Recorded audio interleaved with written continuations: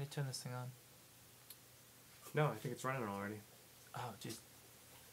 Hi, uh, uh, this is Andrew from the band Athens, And Nick, happy Halloween. also from the band Athens, and uh, we'd like to welcome you to another episode of Fan Mail. Um, we haven't posted in a while. We've had a lot going on in our lives and in the world of Athens, and um, we've still been getting a lot of uh, calls and emails and, and letters and cards and such. Um, and the first uh, card, actually, that I'd like to respond to is a thank you note. Um, this is from Chico in uh, Florida. Chico says, Dear Athens, thank you for being so awesome. You're welcome, Chico. Uh, one question Who do you think is the handsomest president? Maybe we better not answer that Yeah. uh, this time around. Thanks for writing, Chico, but uh, we're gonna go on. We're gonna have to go on to another uh, email I think so. here. Uh, let's see. I got one here from uh, this is from Jeff uh, in Bridgeport here in Chicago. He says, uh, "Last year I was at your Halloween show at the orphanage, and you guys pulled off a really cool uh, Disney theme. How? What are you guys gonna do to top it this year?"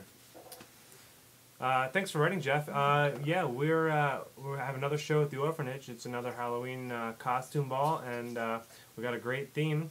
And then uh, along uh, along with that, we got Jed and Adam here on board, and uh, they're trying to pick up where uh, Mike and Glenn left off last year. So it's going to be a really And really interesting show. Jed and Mike are, or Jed and Adam are actually eating Glenn and Mike, uh, Right. respectively, um, as we speak, in a sort of ancient ritual to uh, absorb their essence, you know, as it were. You here have some Mike. How you guys doing back there?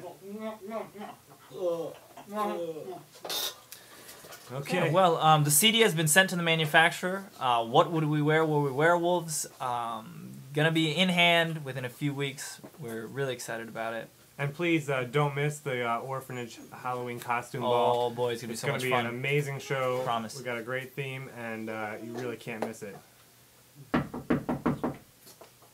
Trick or treaters! Oh, Peter. Oh.